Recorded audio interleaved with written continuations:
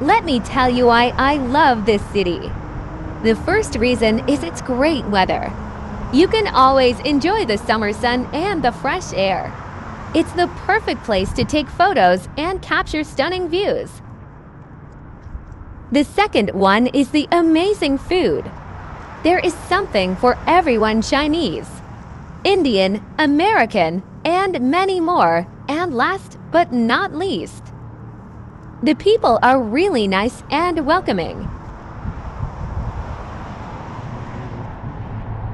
So if you're looking for a great place to live,